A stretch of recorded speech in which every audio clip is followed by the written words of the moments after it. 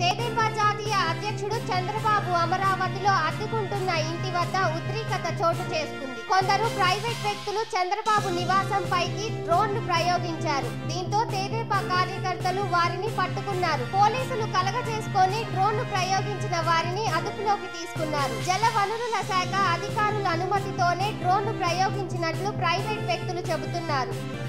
అన్నా క్యాంటీన్లు తెరవాలంటూ తెదేపా ఆందోళన. అన్నా క్యాంటీన్లను ఏపీ తెదేపా నిరసన ప్రదర్శనలు నిర్వహించింది. పార్టీ అధినేత చంద్రబాబు పిలుపుతో అన్ని జిల్లాల్లోనూ ప్రదర్శనలు చేపట్టారు. పార్టీ నేతలు కార్యకర్తలు పెద్ద సంఖ్యలో పాల్గొని ప్రభుత్వ తీరుకు వ్యతిరేకంగా ఆందోళన నిర్వహించారు. పలు చోట్ల నేతలు ర్యాలీ నిర్వహించి రోడ్లపై బైఠాయించారు. గణేష్ మట్టి విగ్రహాల పంపిణీ. గణేష్ విగ్రహాలను స్వచ్ఛమైన గంగా మట్టితో కలకత్తా నుండి వచ్చిన కళాకారులు తయారు చేస్తారు. మట్టి విగ్రహాలు పూజకు మంచిదని ఆగస్టు ముప్పై ఒకటిన రెండు వేల మట్టి విగ్రహాలు తులసి మొక్కలు ఉచితంగా పంపిణీ చేస్తామని రాష్ట్ర బీజేపీ అధ్యక్షుడు కన్నా లక్ష్మీనారాయణ తెలిపారు. Metro record. మెట్రో రైలు ప్రయాణికులు పరంగా మూడు లక్షల మైలురాయిని అధిగమించింది. రికార్డు స్థాయిలో బుధవారం మూడు పాయింట్ ప్రయాణించారు. మెట్రో ప్రారంభం తర్వాత ప్రయాణికుల సంఖ్య పరంగా ఇప్పటి వరకు ఇదే ఆధిక్యం. గత జూన్ ఏడున ఒక్క రోజు అత్యధికం రెండు పాయింట్ డెబ్బై ఎనిమిది లక్షలు కాగా జూన్ ఇరవై రెండున రెండు పాయింట్ ఎనభై తొమ్మిది లక్షలు. ఇప్పుడు మూడు లక్షల మంది ప్రయాణికులు అనే మైలురాయిని దాటి కొత్త రికార్డు నెలకొల్పింది. తెలంగాణ చేప పిల్లల పంపిణీ ప్రారంభం. తెలంగాణలో చేప పిల్లల పంపిణీ కార్యక్రమం ప్రారంభమైంది. వంద శాతం పూర్తి రాయితీపై తెలంగాణ ప్రభుత్వం ఈ కార్యక్రమానికి శ్రీకారం చుట్టింది. కాళేశ్వరం ప్రాజెక్టులోని కోయల్ సాగర్లో మంత్రి తలసాని శ్రీనివాస్ యాదవ్ చేప పిల్లలను వదిలిపెట్టి లాంఛనంగా ఈ కార్యక్రమాన్ని ప్రారంభించారు. స్వర్ణ ప్రాజెక్టులో మరో మంత్రి ఇంద్రకరణ్ రెడ్డి చేప పిల్లలను వదిలారు. ఈ సందర్భంగా మంత్రులు మాట్లాడుతూ పదిహేను రోజుల్లోగా చేప పిల్లల పంపిణీ ప్రక్రియను పూర్తి చేస్తామన్నారు. గంగా సమ్మేళనంలో పాల్గొననున్న ప్రధాని గంగా నది ప్రక్షాళనలో భాగంగా ఉత్తరప్రదేశ్లోని కాన్పూర్లో నిర్వహించనున్న గంగా సమ్మేళన్ కార్యక్రమంలో ప్రధాని నరేంద్ర మోదీ పాల్గొననున్నారు. ఉత్తరాఖండ్లోని గోముఖ్ నుంచి పశ్చిమ బెంగాల్లోని గంగా సాగర్ వరకు ఈ కార్యక్రమం చేపట్టనున్నట్లు అధికార వర్గాలు సమాచారం.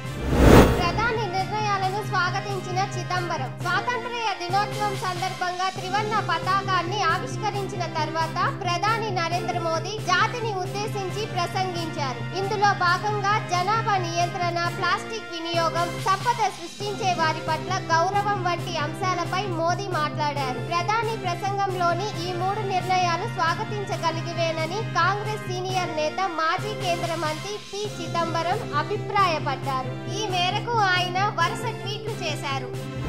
అణ్వస్త్ర ప్రయోగంపై రాజ్నాథ్ కీలక వ్యాఖ్యలు. కేంద్ర రక్షణ శాఖ మంత్రి రాజ్నాథ్ సింగ్ ఈ రోజు ఆసక్తికర వ్యాఖ్యలు చేశారు. అణ్వస్త్ర వినియోగంపై ఆయన మాట్లాడుతూ మొదటి ప్రయోగించరాదన్నది ప్రస్తుతం దేశ విధానంగా ఉంది. దీనికి భారత్ కట్టుబడి ఉందని చెబుతూనే భవిష్యత్తు పరిణామాలపై ఏమీ చెయ్యలేమని ఆయన పేర్కొనడం చర్చనీయాంశమైంది. భారత్ను అణ్వస్త్ర శక్తిగా మార్చాలన్న అటల్జీ ఆశయానికి సాక్షిభూతమైన ప్రదేశం ప్రోక్రాన్. మొదటిగా ఉపయోగించబోం అన్న విధానానికి భారత్ కట్టుబడి ఉంది. అయితే భవిష్యత్తులో ఏం జరుగుతుందనేది పరిస్థితులపై ఆధారపడి ఉంటుంది అని రాజ్నాథ్ సింగ్ ట్వీట్ చేశారు.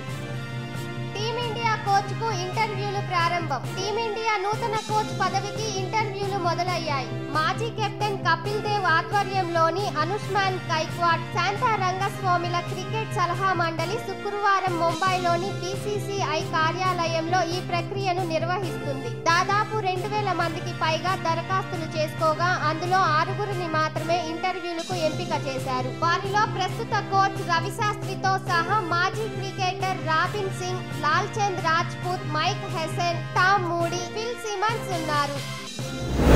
ప్రతి రాముడిలో ఓ రావణుడు ఉంటాడు. బాలీవుడ్ నటుడు సైఫ్ అలీ ఖాన్ ప్రధాన పాత్రలో నటిస్తున్న చిత్రం లాల్ కప్టన్ నవదీప్ సింగ్ దర్శకత్వం వహిస్తున్నారు. ఇందులో సైఫ్ నాగసాధువు పాత్రలో నటిస్తున్నారు. ఈ సినిమా టీజర్ శుక్రవారం విడుదలైంది. టీజర్లో సైఫ్ ముఖానికి విభూది రాసుకుంటూ కనిపించారు. ప్రతి రాముడిలో ఓ రావణుడు ఉంటాడు. ప్రతి దసరాను రావణుడు జరుపుకుంటాడు అంటూ బ్యాక్గ్రౌండ్లో వస్తున్న డైలాగ్ ఆసక్తికరంగా ఉంది. Please watch Tulsi News. Please subscribe to Tulsi News.